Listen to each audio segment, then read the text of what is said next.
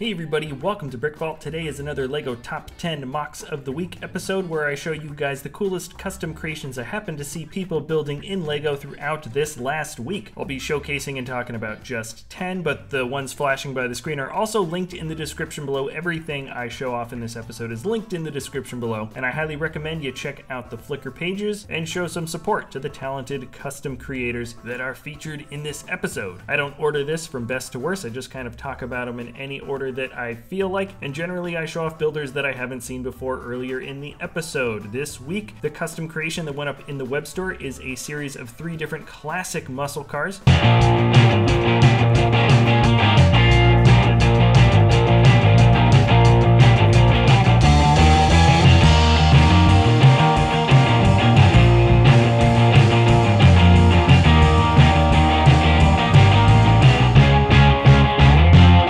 The designer Sawman Bricks, I think, had a blast building these vehicles. He's really good at building at this scale. And if you wanted to get the custom building instructions, you can find them linked in the description below at our web store, www.brickvault.toys. Now let's jump into the very first build of the week from Hu G. William. We have Golf Racing Viper. Based on the description, it seems like this may be an updated version of a slightly older model, but it's the first I'm seeing of it, and there's a lot of things that I think really work for me here on this build. The arch pieces that hold on to the outer wings or pontoon type shapes are attached by hinges and it makes for a great little sleek down angle. The color combination is awesome and I don't believe that's a light brick underneath the canopy but instead just a white brick underneath the trans orange which makes a nice bright glow. Wonderful use of chrome and an excellent little Viper all around. Next up is a much larger brick built figure. Looks like a lot of Bionicle and Technic pieces used here. From Eclipse Caller we have Ameas. You can see the nougat colored track pieces are what clothe this much larger figure, and the proportions look excellent. You can tell that there's quite a bit of complex building underneath uh, the relatively simplified track pieces, and he looks like a pretty well realized supervillain. I'm going supervillain. He doesn't look as much like a hero.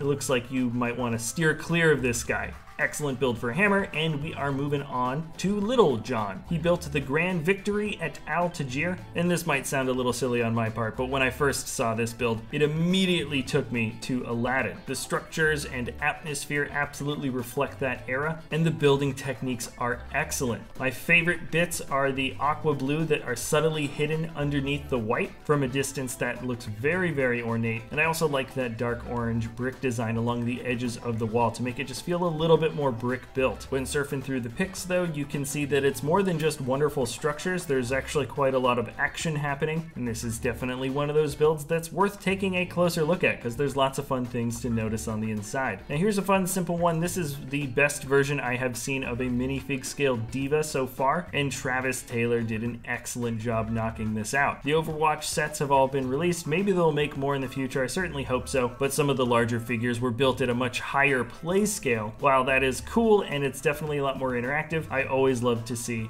uh, where designers go when they try to make something fig scale, and the D.Va is not actually that easy, I don't think, but Travis Taylor did just such a good job, not just making this mech robot look cool, but uh, there's also a bit of animation and life to the stance as well. I'm sure it takes a little bit of time to balance the whole thing out, but excellent little build. Now this one has been making the rounds in a lot of different forms. I really like this. It's from Ralph Savelsberg, and it's the RNIAF F16AM Viper. At a large enough scale, the blockiness uh, to make these shapes really kind of blends together when you look at this thing from afar. I love the angle that was achieved on the wings, and the proportions and accuracy of the actual shape of this vehicle seem to have been followed to the T, though I can't say I'm really an expert when it comes to jet fighters. He took a ton of pics, you get some great angles, and then move into the builder Manuel Nascimento. There is the Land Rover Defender 110. Recently, a Technic Defender came out not too long ago, a different model, but this guy has tackled the much more classic and honestly a lot more rugged looking version that isn't just the Land Rover on its own, but actually comes with a bit of off-roading space to set up camp. The scale here is absolutely massive, which means there's a lot of excellent details included. The brick-built figure gives you kind of an idea of how big this thing is, and if you want to see a lot of time, effort, and energy dedicated to one very large vehicle build, this designer has quite a storied history with that, and what you're looking at is years of experience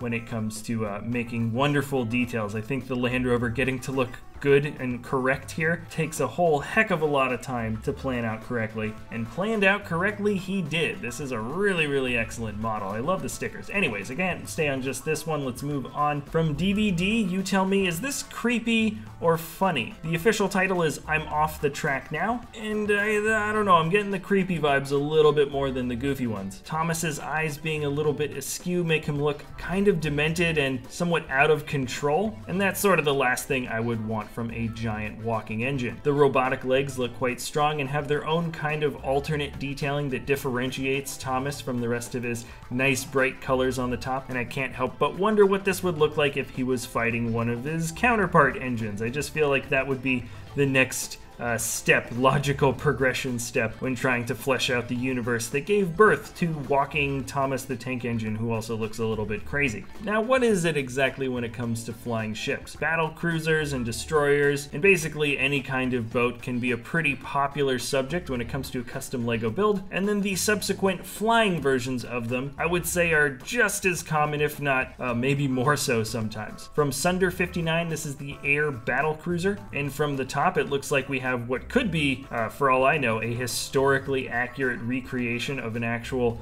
uh, destroyer that exists or did exist in the past, and then some wonderful little uh, propellers on the side that just give you the nice little suggestion that this thing could be flying through the air. Recently, I've been looking a lot more at battleships. I love the way different turret designs are put together with bracket pieces, some shield parts, and lots and lots of bar clips and ice gates. In here, you can just get the scale for this battle cruiser with a nice little propeller plane in the back. That little gear piece is a wonderful little suggestion to show propellers. And now we're moving on to the last three. From Djokson, this is the Husk of Minaurogg. This designer excels at making brick-built figures, and this is such a cool and interesting one because not only do we have a very uh, vibrant and animated, what looks like metallic Minotaur, but he is in the process of being engulfed by uh, something I certainly wouldn't want to catch. The matte black of the spikes sticking out to the side really show uh, a very alternate texture when combined with the trans purple, and I can't say that I'm looking forward to the final form of whatever the heck this guy turns into. And believe it or not, this actually wasn't exactly planned, but the next one up is from Duncan Lindo, and it's called Crystalline Tree. This has also been making the rounds on some other brick forums, and for also a very, very good reason. Number one, how did he get all of these trans purple pieces to fit together in a way where you can't see anything else? It's all trans purple. I can't see a single other connector piece on the inside uh, that brings it together. I can't tell if uh, the picture has some reflection here and there's lights maybe on the inside, or perhaps that's just how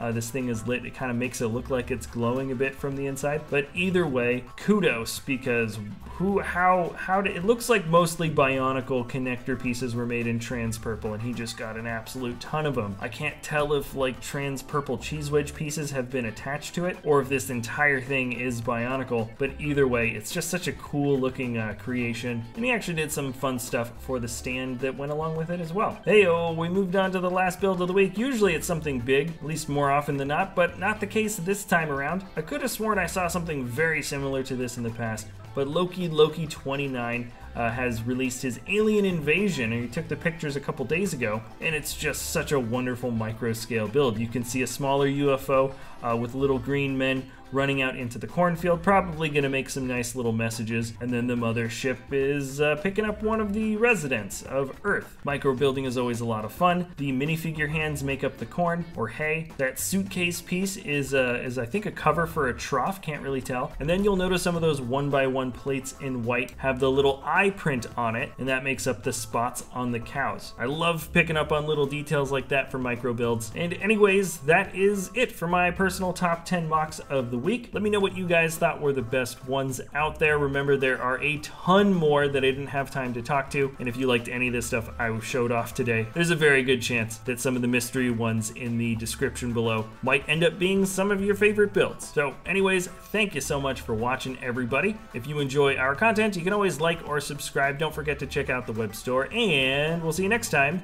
at Brick Vault.